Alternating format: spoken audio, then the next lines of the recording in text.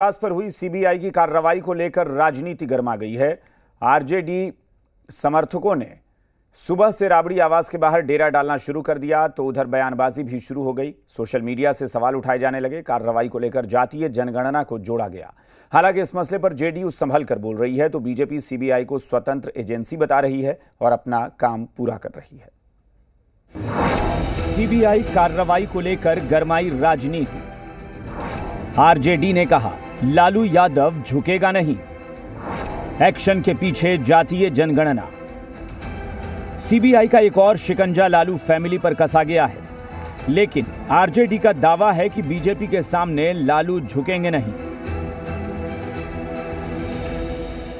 राबड़ी देवी के आवास पर सीबीआई का छापा और 17 जगहों पे अलग अलग देश के अलग अलग हिस्सों में छापेमारी चल रही है। राबड़ी देवी के आवास के ठीक सामने किस तरीके से यहाँ पे एक पोस्टर जो है लगा हुआ है ये देख सकते हैं कि झुकेगा नहीं।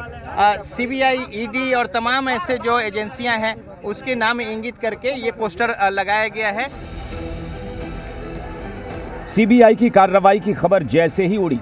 समर्थकों का हुजूम राबड़ी आवास की ओर दौड़ा। नारेबाजी होने लगी और इस कार्रवाई को सियासी साजिश से जोड़ा जाने लगा। लालू जी के वक्त से लेकर के जब जब जन उभार की राजनीति शुरू हुई, हाल के दिनों में नेता प्रतिपक्ष ने बेरोजगारी से लेकर के जातिगत जनगणना की बात शुरू की, संवाद बिहार के बाकी दलों तक भी पहुँचा, साथ आने लगे तो इतना डर? कि आपने फिर से एक बार एक मरी हुई चिड़िया को ज़िंदा करके फिर से उस तोते को आपने घर पे बिठा दिया। एजेंसी अपना काम कर रही है। अगर आप बेदाग होंगे तो कोई डरने की ज़रूरत नहीं है। लेकिन अगर काम के बदले अनाज का नौकरी के बदले ज़मीन तो ये विषय तो पहले से है। यही नहीं कार्रवाई को लेकर आरजेडी के एक ट्वीट ने माहौल को और गर्मा दिया। आरजेडी ने लिखा तोते और तोते के अब्बा जातिगत जनगणना तो होकर रहेगी। तो क्या जातीय जनगणना का मसला ही इस कार्रवाई के पीछे की वजह है, या फिर यह महज आरजेडी का दांव है? हाँ हम, हमारी ये भी किए थे। हमारे नीरज जी ने भी हमारे पार्टी के लोगों ने भी, नीरज जी ने भी किया था। हम तो कह ही रहे हैं, बहुत से पार्टी के लोगों ने किया था, उसमें बहुत से नेताओं ने भी किया था। तो उस पर सीबीआई अपनी जाँच कर रही है, जाँच के लिए छापेमारी की गई है। तो ये तो एक प्रक्रिया का पार्ट है ना? और इतने दिनों के बाद, अब आठ वर्ष से भारतीय जनता पार्टी की सरकार है केंद्र में। आज तक कहाँ थे? आपकी सीबीआई क्या कर रही थी?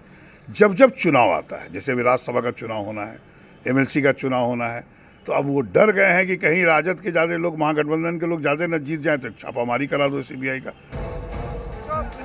दरअसल एक और वजह सियासी हलकों में बताई जा रही है कि हाल के दिनों में नीतीश और तेजस्वी करीब आए, जो बीजेपी के लिए खतरे की घंटी थी। मसलन, इफ्तार के दौरान बड़ी गर्मजोशी के साथ नीतीश और तेजस्वी एक दूसरे से मिले। राबड़ी आवास पर सीएम नीतीश का शानदार स्वागत हुआ। तो जेडीयू के इफ्तार में तेज बंधुओं का गर्मजोशी से स्वागत किया गया। नीतीश के तेजस्वी प्रेम से बिहार के सियासी गलियारे में अटकलों का बाज़ार गर्म था, लेकिन असल वाकया दस दिन पहले हुआ, जिसने बीजेपी नेतृत्व के कानों में खतरे की घंटी बजा दी थी। दरअसल तेजस्वी यादव ने अचानक से जातीय जनगणना पर एक प्रेस कॉन्फ्रेंस की और पटना से दिल्ली तक पैदल मार्च का ऐलान कर दिया। उसके कुछ घंटे बाद ही नीतीश आवास से तेजस्वी को बुलावा आ गया। तेजस्वी यादव अपनी पार्टी के किसी नेता को साथ लिए बगैर जातीय जनगणना पर बात करने और ज्ञापन सौंपने नीतीश कुमार के आवास पर पहुँच गए। बंद कमरे में दोनों के बीच बात हुई और उसके बाद से नीतीश कुमार को लेकर तेजस्वी यादव के सुर बदल गए। पिछले पंद्रह दिनों से तेजस्वी यादव ने नीतीश कुमार पर कोई तीखा हमला नहीं बोला। तो क्या बीजेपी को यही बात खटक गई? क्या यही वजह है? हालाँकि बीजेपी ऐसी बातों से इनकार कर रही है। जो आरजेडी के लोग हैं सीधा सीधा आरोप लगा रहे हैं कि राजनीति से प्रेरित होकर, परेशान करने को लेकर, जानबूझकर ऐसी कार्रवाई की जा रही है। और बीच के दिनों में जो रमज़ान के समय इफ्तार और जो नज़दीकियाँ थी जेडीयू और आरजेडी के बीच में जो तस्वीरों के ज़रिए सामने आई तमाम सारे लोगों के जहन में इसको लेकर आरजेडी के लोग जो है, वो कह रहे हैं कि इसकी परिणति है कि ये जो छापेमारी है, वो एक संकेत के तौर पे डराने को लेकर इंगित किया गया है। सीबीआई हमारा ही तोता है। तो जब वो रेल मंत्री थे उस समय तोता नहीं था। जब मनमोहन सिंह थे उसके पहले की कांग्रेस की सरकारों का वो सीबीआई तोता नहीं था।